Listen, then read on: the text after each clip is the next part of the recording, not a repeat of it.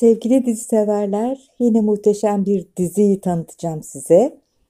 Dizimiz adı Bir Deli Rüzgar. Hatice Aslan yani Melike Can'dan eskinin büyük yıldızı. Şimdi Etiler mekanlarında birinde tuvaletçilik yapıyor. Tıpkı gençliğindeki gibi dik başlı, doğru bildiğinden şaşmayan ama vicdanlı ve dürüst bir kadın. Sadece affedilmeyi istiyor.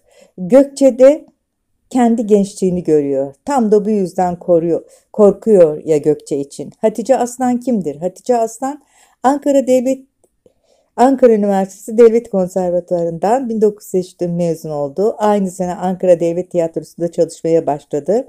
1986 yılında İzmir Devlet Tiyatrosu'na geçen oyuncu 1992'de burada görevini sürdürdü çocuk oyunlarından müzikallere uzanan geniş bir yelpazede sürdürdüğü tiyatro kariyerinin devamında Ankara Devlet Tiyatrosu'na geri döndü. Evet, e, bir Deli Rüzgar'ın e, oyuncularına bakıyoruz. Hatice Aslan, Melike Candan, Gökçe Yücel, Pınar Deniz, Uğur, Berk Cankat, Genç Melika Candan, Almia Ada,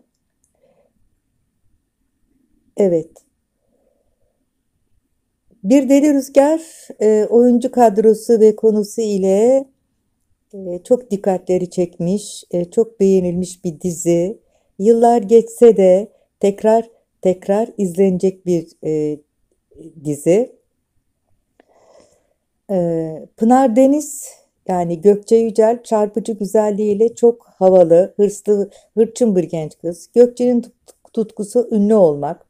Bu uğurda dünyayı yakabilir ve hep bunu burnun dikine gider. Şöhret tutkusu onun belki en güçlü, belki de en zayıf yanıdır.